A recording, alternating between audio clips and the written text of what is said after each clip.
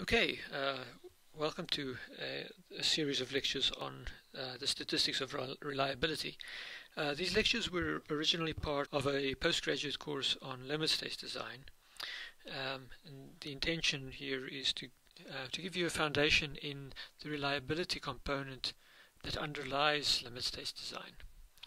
Um, I hope in the future to make a more detailed set of videos on some of the subjects that we will touch on that relate specifically to uncertainty quantification. But hopefully for now this will give you a, a good overview of reliability.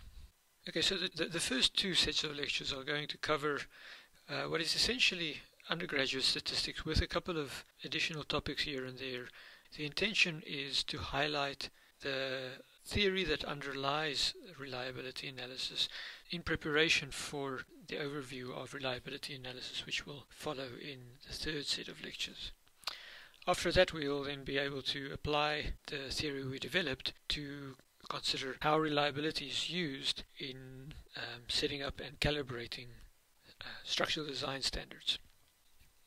Okay, so the primary motivation of statistics as a applied mathematical subject is to quantify uncertainty in a given process.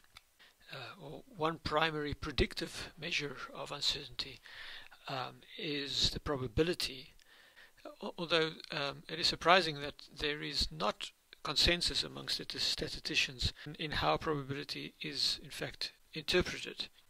So for the purposes of this series of lectures, I think it would be a good place to start to explain what exactly is meant by a probability. So let's suppose that we have a certain number of balls and every given ball can be either red or blue. So for example shown in um, this box over here there are a thousand balls and of those uh, 1000 balls it was found that 174 um, are blue. So given that the fraction of red balls is then 0.174, one can reasonably interpret that the chance of any given ball being red um, is that fraction. It's 0.174. So if, if I were to, to randomly pick a ball a thousand times with replacement, so I pick a ball, I look at its color and I put it back, and I pick another ball and I look at its color and I put it back, 174 out of a thousand times I can expect to have that ball um, be red. Probability can then be interpreted as that fraction of red balls as the total number of balls tends towards infinity. And by doing this we allow the idea of probability to become a continuous value. Now obviously this fraction cannot be larger than 1. You can't have more red balls than there are balls. And this value cannot be smaller than 0. You can't have a negative number of balls. So that places constraints on what values the probability can take. So the probability has to be um, an element of a set of values between 0 and 1. Now anytime one has a physical process uh, which generates an outcome and that outcome will not necessarily be exactly the same every time the process is repeated. Uh, one has a stochastic process and, and one can characterize the outcome through a random variable. So the example uh, we used of picking a ball at random from our 1000 balls um, can be considered to be a random process and the color of the ball can then be considered to be a random variable. For, for the purposes of, of this series of lectures, random variables will generally represent real numbers and so we'll be able to take any real value or at least any positive real value. So in the, in the context of structural engineering, uh, random processes or random variables that we are going to be interested in uh, will in particular include um, values that measure uh, the, the, the, magnitude of a load that a structure has been subjected to or it can be material properties like elastic moduli, yield stress. Now anytime one, one enumerates a random variable in the way that uh, we are doing here in, in the sense of giving it uh, the possibility of taking a, a, continuous number of different values, uh, one can characterize it uh, through a distribution function, which is to say, um, over the range of values that it can take, uh, which values have a higher likelihood of occurring than others. And that distrib- uh, and th this behavior of the random variable is um, can often be characterized through a set of values which we will refer to as point parameters. Um, now if we have a random variable and we have access to all the possible realizations of that variable, that set of um, realizations that the random variable can take is known as the population. Now very often um, this set is actually of infinite size so almost by definition one cannot know the entire population. Um, but what one can do is summarize the population through a, set of values that characterize its behavior, and those values are what are known as statistics. Um, you will see later on, for example, that the mean and the standard deviation are the most common examples of statistics. Um, however, because um, populations are very often very large and difficult to, to characterize, it almost it's almost never the case that we uh, know the population very well. So invariably, the process that we need to follow is to take a subset of the population, which we will refer to as a sample.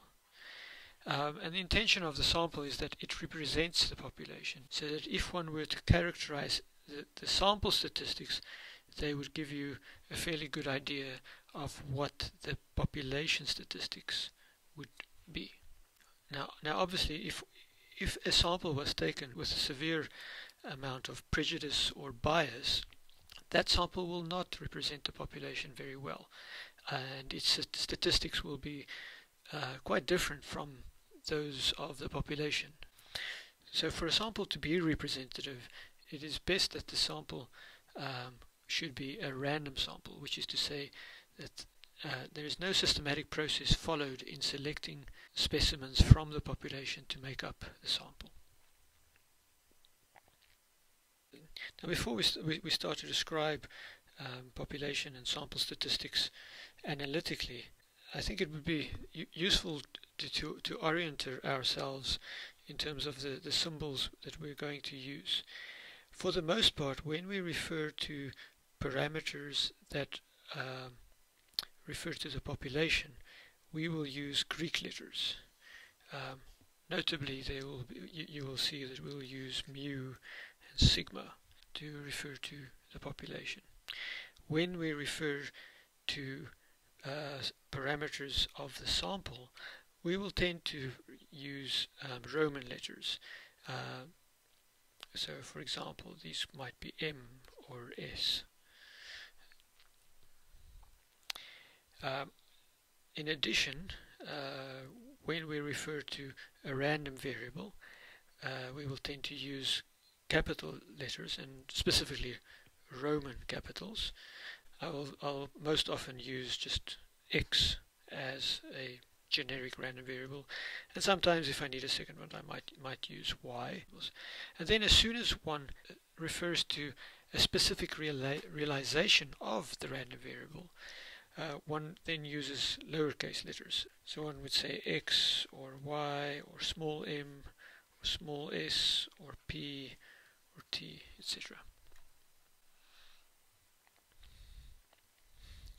Okay, so the first concept that we need to discuss is the relative distribution um, of a random variable. And what we're specifically going to be looking at here are continuous random variables, which is to say that the random variable can take any value uh, within the constraints of uh, its domain.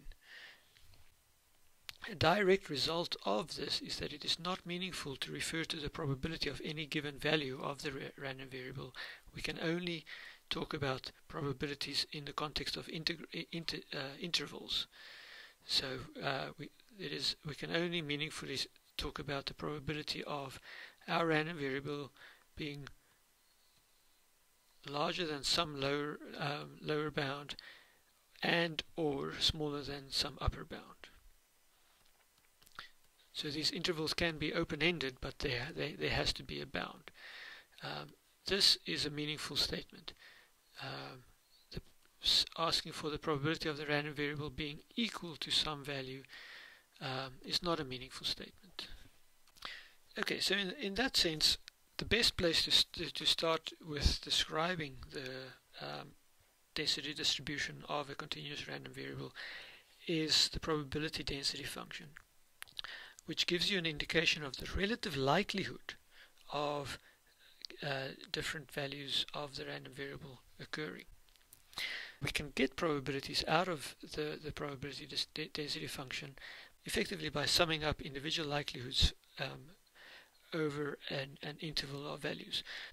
In fact, that is exactly what is shown by this gray area over here, uh, where what is shown here is an open interval that encompasses all values smaller than this cutoff value of x. And so that area actually gives you the probability associated with a particular value of x in its definition as being the probability that a random variable will have a value of x or smaller. And so the function that, uh, that describes this probability, which is the running integral underneath this probability density function, is what is referred to as the cumulative distribution function, or uh, capital F of x. And so what you see here reflected down here is uh, the integral underneath this curve up to that given point of x. So up to this point, for example, the integral underneath this curve has a value of, let's say that's 0.1.